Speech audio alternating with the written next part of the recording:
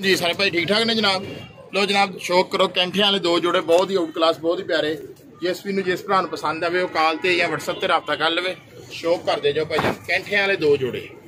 ਬਹੁਤ ਹੀ out class ਬਹੁਤ ਹੀ ਪਿਆਰੇ। ਕਬੂਤਰਾਂ ਦੇ ਕਲਰ ਚੈੱਕ ਕਰੋ ਬੰਦਰਾਂ ਚੈੱਕ ਕਰੋ।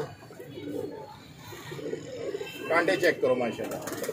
ਇਹਨੂੰ ਪਸੰਦ। ਜਿਸ ਵੀ ਨੂੰ ਜਿਸ ਭਰਾ ਨੂੰ ਪਸੰਦ ਆਵੇ ਉਹ ਕਾਲ ਤੇ ਜਾਂ WhatsApp ਤੇ ਰਾਬਤਾ ਕਰ ਲਵੇ।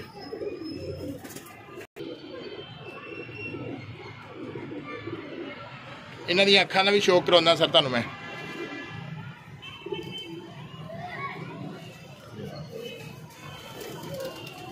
ਲੋ ਸਰ, ਅੱਖਾਂ ਦਾ ਸ਼ੌਕ ਕਰੋ।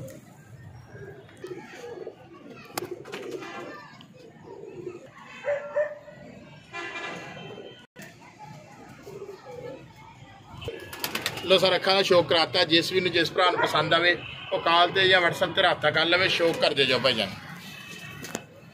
ਕੈਂਠੇ ਵਾਲੇ ਦੋ ਜੋੜੇ, ਬਹੁਤ ਹੀ ਆਊਟ ਕਲਾਸ ਬਹੁਤ ਹੀ ਪਿਆਰੇ। ਜਿਸ ਵੀ ਨੂੰ ਜਿਸ ਭਰਾ ਨੂੰ ਪਸੰਦ ਆਵੇ, ਉਹ ਕਾਲ ਤੇ ਜਾਂ WhatsApp ਤੇ ਰਾਬਤਾ ਕਰ ਲਵੇ। ਸ਼ੌਕ ਕਰਦੇ ਜਾਓ।